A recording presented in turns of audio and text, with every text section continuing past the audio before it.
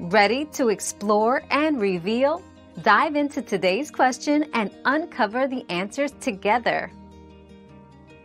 The verification process typically involves confirming the authenticity of documents or the identity of a person. It can vary widely depending on the context, such as employment, online accounts, or financial transactions. Generally, the process includes submitting required documents, like ID, utility bills for address proof, or information, which are then reviewed by the verifying entity for accuracy and legitimacy.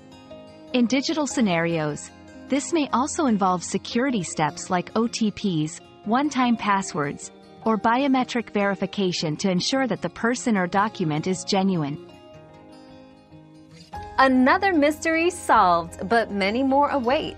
Keep up with our daily discoveries by subscribing and turning on notifications.